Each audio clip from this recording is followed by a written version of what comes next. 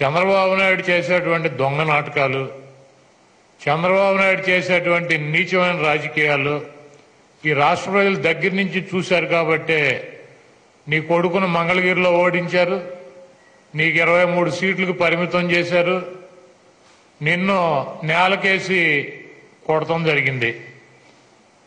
ఎంత విచిత్రవాదనంటే నంద్యాలలో ఒక మైనార్టీ కుటుంబాన్ని ఇక దొంగ కేసులు పెట్టి పోలీసులు వేధిస్తున్నారు అన్నటువంటి ఉద్దేశంతో ఆత్మహత్య చేసుకున్న కుటుంబం అన్నటువంటి వార్త ముఖ్యమంత్రి గారు వినగానే దానికి సంబంధించి పోలీసు ఉన్నతాధికారులున్నా దాంతో ఎవరికి ప్రమేయం ఉన్నా కేసు కట్టి అరెస్ట్ చేయాలని చెప్పి ముఖ్యమంత్రి గారు ఆదేశించారు. ఎమ్మటే అక్కడ ఉన్నటువంటి సిఐని అక్కడ ఉన్నటువంటి కొంతమంది అధికారులని బాధ్యులను చేసి డిపార్ట్మెంట్ సస్పెండ్ చేసి కేసు కట్టి కోర్టు పంపించింది.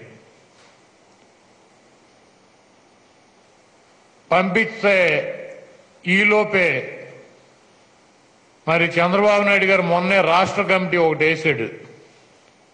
ఆయన అధికారంలో ఉండగా ఒక కార్పొరేషన్ డైరెక్టర్గా ఉన్నాడు. ఇప్పుడు వేసినటువంటి పదవిలో తెలుగుదేశం పార్టీ రాష్ట్ర సెక్రటరీ హోదా ఇచ్చాడు లాయర్ గారికి. ఆయన పేరు ప్రభాకర్ రావు అనుకుంటా. రామచంద్రరావు. రామచంద్రరావు. ఆయన వెళ్ళి కోర్టులో బెయిల్ పిటిషన్ ఫైల్ చేసి బెయిల్ తీసుకురావడం జరిగింది. దానికి సిగ్గు శరం లేకుండా నిన్న ఈరోజు తెలుగుదేశం పార్టీ నాయకులు వచ్చి చెప్తారు. వృత్తి వేరంట ప్రవృత్తి వేరంట ఒక నలుగురు కుటుంబ సభ్యులు చనిపోయినటువంటి మైనార్టీ అని తెలుసు. సిగ్గు శరం లేదండి. ఎవరు పడితే వాళ్ళకి పదవులు ఇచ్చేస్తారా? ఏ కేసులు పడితే ఆ కేసులు వాదించే వాళ్ళకి? పాపం మాకంటే పెద్ద పెద్ద లాయర్లు లేరు. మేము వెళ్తే బెయిల్ ఎవరు? మా పార్టీకి సంబంధించినటువంటి లాయర్లకు వాదించడం రాదు. అందుకని చిన్న కేసులో కూడా మాకు బెయిల్ రావు. పదహారు నెలలు రెండు సంవత్సరాలు జైల్లో పెడతారు మమ్మల్ని. తెలుగుదేశం పార్టీ లాయర్లు అంటే వాళ్ళు చాలా విజ్ఞానవంతులు బాగా లా తెలిసిన వాళ్ళు. కాబట్టి వీళ్ళ వాదన విని జడ్జిలు కన్విన్స్ అయ్యి బెయిల్ ఇచ్చేస్తూ ఉంటారు. పాపం తెలుగుదేశం పార్టీ లాయర్ గారు వెళ్ళి గట్టిగా వాదించేటప్పటికి వాళ్ళకి బెయిల్ వచ్చేసింది. ఇది కూడా మా పొరపాటేనంట. సిగ్గు శరం లేదు చంద్రబాబు నాయుడు మాడతాకి పార్టీలో ఉన్నత పదవులు ఇచ్చి ప్రోత్సహిస్తే ఒక కుటుంబం నలుగురు ఆత్మహత్య చేసుకుని చనిపోతే వాళ్ళకి బెయిల్ తీసుకొస్తే మేమేమో కేసు పెడితే నీ పార్టీ నీకు సంబంధించినటువంటి వ్యక్తులు వెళ్ళి బెయిల్ తీసుకొచ్చి వాళ్ళని రోడ్డు మీద తిప్పుతుంటే ఆ నింద ఆ బురద తీసుకొచ్చి మా ముఖ్యమంత్రి గారి మీద మా ప్రభుత్వం మీద వేస్తావు. సిగ్గు శరం లేదు. వయసు వచ్చింది బుద్ధి రాలేదు నీకు. మళ్ళీ వాళ్ళు లాయర్ వృత్తి నాకు సంబంధం లేదు. ఆ వృత్తులు చేసుకున్న వాళ్ళు ఏ అడ్డమైన పనులైనా చేయొచ్చు ఏ కేసులైనా వాదించవచ్చు ఎట్టాగైనా తిరగొచ్చు. నా పార్టీ వేరు అది వేరు ఇది వేరు అని చెప్పేటువంటి సిగ్గుమాలినటువంటి పరిస్థితి డెబ్బై ఏళ్ళ వయసు వచ్చి మరి నువ్వు ఇంకా సిగ్గు లేకుండా ఇటువంటి మాటలు మాట్లాడుతున్నావు అంటే ఈ రాష్ట్ర ప్రజలకి నువ్వు చేసేటువంటి నీచాతి నీచమైనటువంటి రాజకీయాలు అర్థమవుతున్నాయి. ఇంకోటి టిట్కో ఇళ్ళ గురించి చెప్తాడు. రేపు సంక్రాంతి పండగ గనక ఈయన కట్టించాడంట ఒక పదమూడు లక్షల ఇల్లు దాంట్లో ఒక పదకొండు లక్షల ఇల్లు మాయమైపోయినాయి మిస్ అయిపోయినాయి కనపట్ల. ఎక్కడ కట్టించాడు? అక్కడ రెండు లక్షలే లెక్కలు తేలుతున్నాయి ఈయన పదమూడు లక్షలు కట్టించాడంట. ఈ పదకొండు లక్షలు ఎక్కడ మాయమైపోయినాయి? ఎవడెత్తుకు వెళ్ళిపోయాడో కనపట్ల. సెంట్రల్ గవర్నమెంట్ దగ్గర లక్ష యాభై వేల రూపాయలు సబ్సిడీ తెచ్చుకుని లబ్ధిదారుల దగ్గర లక్ష రూపాయలు డబ్బులు కట్టించుకుని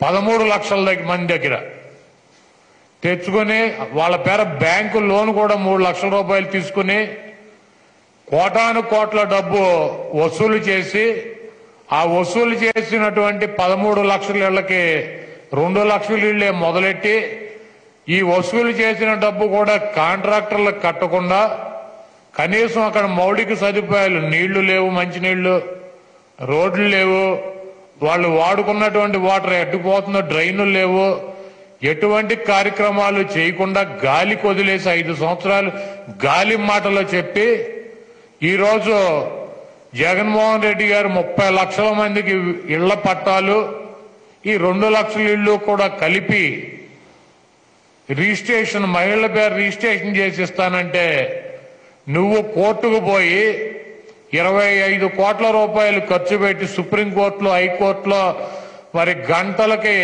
కోట్ల రూపాయలు తీసుకున్నటువంటి లాయర్లకు ఫీజులు ఇచ్చి వాళ్ళకి రిజిస్ట్రేషన్ చేయటానికి వీల్లేదని చెప్పి స్టే ఆర్డర్ తీసుకొచ్చి మళ్ళీ నీ గుంట నక్క బుద్ధి పోనివ్వకుండా కొంగ జపం. ఈయన కట్టించేయండి ఇళ్ళు మేము ఇవ్వాలంట. లేకపోతే ఈయన సంక్రాంతికి హ్యాండ్ ఓవర్ చేస్తాడంట. చంద్రబాబు నాయుడు ఒక నీచాతి నీచమైనటువంటి ఉచ్చము నీచము లేనటువంటి పేదల యొక్క అవసరాలను కూడా తెలవకుండా ఆయనకి ఆయన డబ్బా మీడియాకి ఆయన దగ్గర ఉన్నటువంటి పది మంది ఇంటర్నేషనల్ బ్రోకర్ల కోసం పనిచేసినటువంటి ముఖ్యమంత్రి చంద్రబాబు నాయుడు. ఈరోజు జగన్మోహన్ రెడ్డి గారు పేదల కోసం బడుగు వర్గాల కోసం బలహీన వర్గాల కోసం మైనార్టీల కోసం గిరిజనుల కోసం పనిచేస్తున్నటువంటి ముఖ్యమంత్రి జగన్మోహన్ రెడ్డి గారు.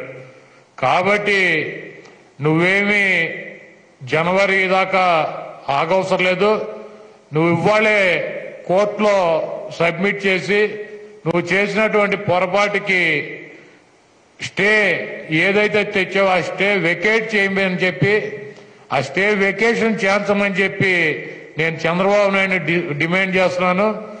డిసెంబర్ ఇరవై ఒకటో తారీఖు లోపే డిసెంబర్ ఇరవై ఒకటి ముఖ్యమంత్రి గారి పుట్టినరోజు నాడే నువ్వు కనుక స్టే వేకేట్ చేస్తే జనవరి దాకా కూడా అవసరంలా. డిసెంబర్ ఇరవై ఒకటి తారీఖే మేము ఈ టిట్కో ఇళ్ళు కానీ ముప్పై లక్షల మందికి పేదలకు ఇంటి పట్టాలు కానీ రిజిస్ట్రేషన్ చేసేటువంటి కార్యక్రమం చేస్తున్నాం.